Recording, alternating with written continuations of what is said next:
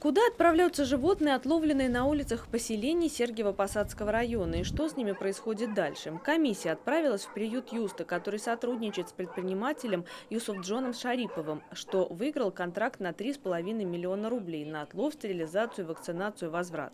После отлова собак везут за Переславль в деревню Рушиново.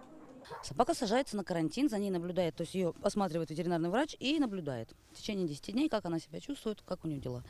А, по истечении этого времени собака вакцинируется.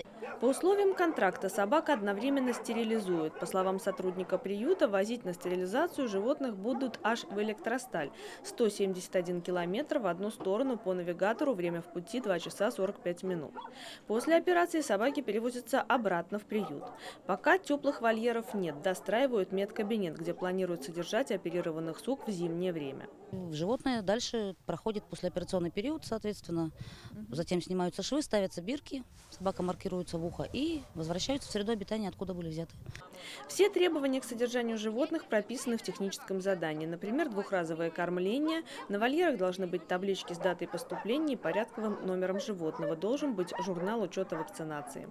Согласно техническому заданию мы проверили, проверили с вами совместно приют, а, записали в акт о наличии а, карантинной зоны, записали в акте о наличии, э, как содержатся животные, как они кормятся, сколько животных содержится в каждом боксе. А, требуют некоторые доработки э, предоставления договора именно с ветеринарной клиникой. Они оставили контакты, соответственно, клиники, мы потребовали документацию, чтобы в клини... была предоставлена.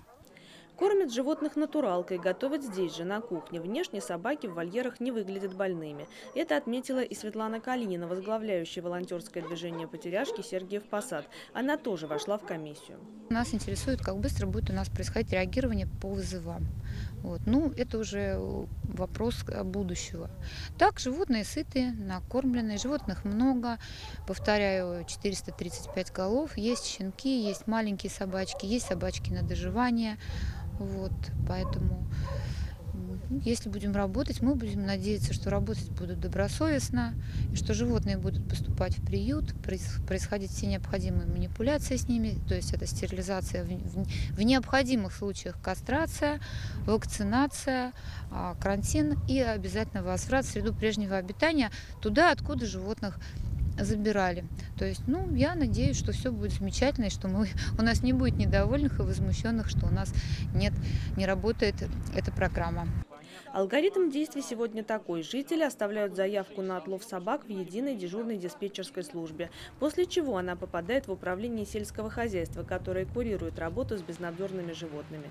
Специалист ставит задачу перед исполнителем созваниваемся с каждым жителем, а, спрашиваем ситуацию, что, как произошло, просто ли видели животное или просто ли видели стаю, которая мимо пробежала. И в последующем уже принимается решение о срочности этой заявки. Если идет заявка на детские площадки и дошкольные учреждения, школьные учреждения, э, заявка кидается срочно и выезжается в течение трех часов. Действительно, потому что как бы здесь мы не медлим. Ни в коем случае ловцам информация передается молниеносно. Если это просто пробежала стая мимо нашего дома, то, соответственно, в течение двух суток исполнитель должен выполнить эту заявку. С ловцами обязательно выезжает представитель администрации. Ведется фотофиксация отлова собаки и выпуска ее обратно после стерилизации и вакцинации.